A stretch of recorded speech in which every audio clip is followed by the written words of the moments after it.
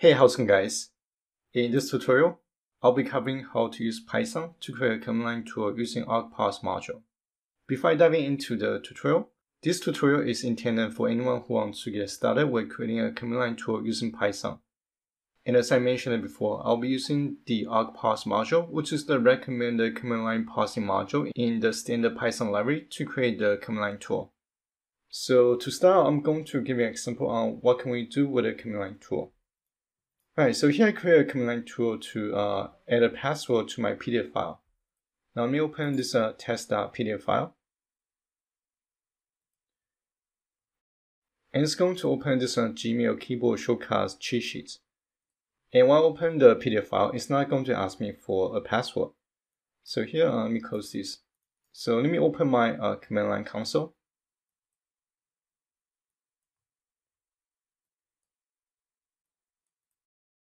And I spent maybe about 10 minutes to create this uh, encryption command line tool. And in my console, if I run the encrypt PDF, and this program takes two arguments, the file name and the password. And for the password, let's do ABC123 and enter. Once the file is encrypted, it's going to print this message, uh, file followed by the file name followed by the encrypted message. Now this time if I go back and open the PDF file, it's going to prompt me to enter the password.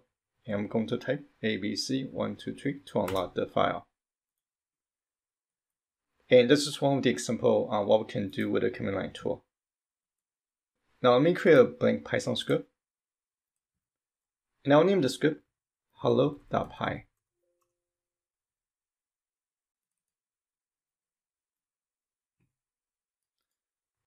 Alright, so in my script, I'm going to start by importing the argparse module. And I'll start with a very simple example, which does almost nothing. From the argparse module, I want to create an argument parser object, and I'm going to insert the class name, argument parser. And I want to provide my users with uh, some description regarding this program. So inside the argument parser uh, class, I'm going to insert the description to the uh, description parameter. And for the description, I'm going to say that print hello. And I'll name the output as parser. Next, I'm going to type parser.parse args and is method. Now let me explain what these two lines do. The argument parser object basically contains the metadata and other information related to your program, and the parseArgs method will read the data from the parser object. Now let me save the script and let me launch my uh, console window.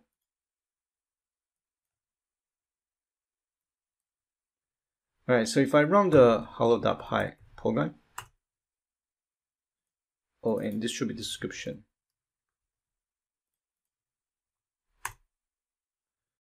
And it's not going to do anything because at this point, we're basically creating the shell.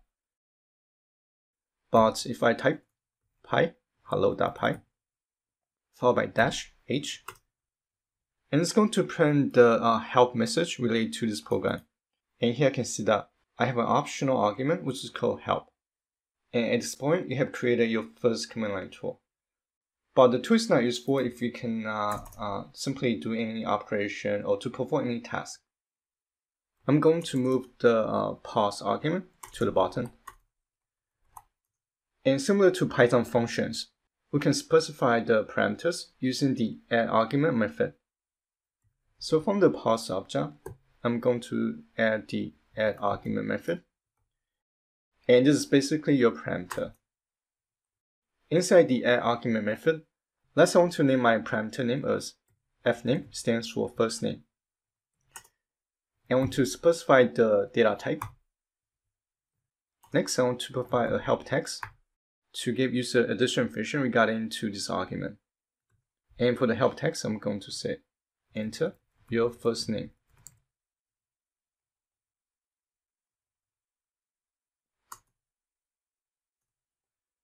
Here I want to name the parse args uh, output as args, stands for arguments. If I want to read the uh, value from this argument, I'll type args dot followed by the uh, parameter name, which is going to be f name. Now going back to the console, I'm going to type pyhello.py followed by my first name j, enter, and it's going to print my name j. And to make the program a little bit more useful, I'm going to insert hello, followed by a variable placeholder. Then I want to insert my uh, first name. Now if I run the program again, and this time it's going to say hello j. Now I want to add another argument, except that I want to make this argument optional.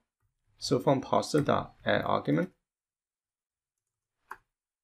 to add an optional argument, we need to uh, name the parameter followed by a hyphen or two hyphens. So this is basically your short name. And let's say I want to uh, print my first name or last name. And last name is optional. So for the short name, I'm going to use ln. And it will be one dash. And for the long name, it's going to be last name. And I can specify the data type in the help text. Enter your last name. And to modify the print statement, I'm going to insert another variable placeholder. This is going to be the last name. And notice that here I'm referencing the long name to retrieve the value. Now if I run the program with just my first name, oh, and I forgot the, the comma. It's going to print hello j followed by the num value. And it's not the behavior I want. Now going back to the script, I want to uh, create two variables first. I want to create my first name variable from the args object. I want to reference the first name argument. And for the last name, I'm going to insert the args object dot last name. And I'll insert a one line if statement to check if the last name value is none. I'm going to say that if args.lastName is none, then I want to uh, return as an empty string. Otherwise, I want to uh, return the last name. And save. Now this time if I run the program with my first name, oh, and this should be, oh, this should be f name, not first name. I forgot to replace the uh, variables. Now if I go back to my console and run the program with just my first name, it will simply print hello j. Now if I print hello j followed by my last name, Jenn, now I'm getting the unrecognized argument error.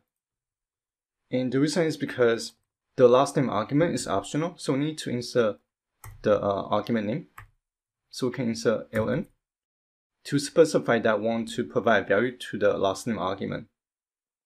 Now enter. Now it's going to print my full name. And we can also specify the uh, parameter name using the long name by inserting two dashes, followed by the argument name. And finally, I'm going to convert uh, this command line tool into an executable program. And to do that, we need to use a package called PyInstaller. Alright, so here let me open my Windows terminal. And let me activate my environment first. And to install the PyInstaller, we'll use the command pip install PyInstaller.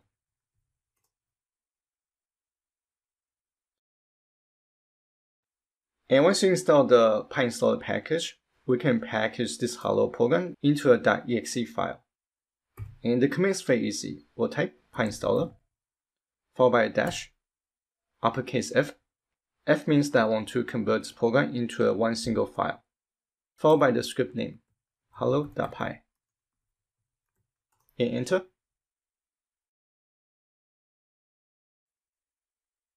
And it looks like the build is finished. And it's going to create two folders. The build folder contains the uh, working files that relate to this program. And the other folder, which is the distribution folder, which contains the actual program. And here's the hello.exe file. Right, so here let me open my Windows terminal that link to uh, this directory. Now I want to use this hello.exe file. Now if I want to run this program, I can simply type the program name hello and followed by my first name, J, then last name, and enter. And it's going to print hello J Jenn. Alright, so this is everything I want to share in this video, and hopefully you guys found this video useful. And as always, thank you guys for watching. I'll see you guys on the next video.